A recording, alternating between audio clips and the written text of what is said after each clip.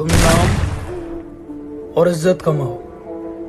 तो पैसा झक मार के तुम्हारे पीछे आएगा।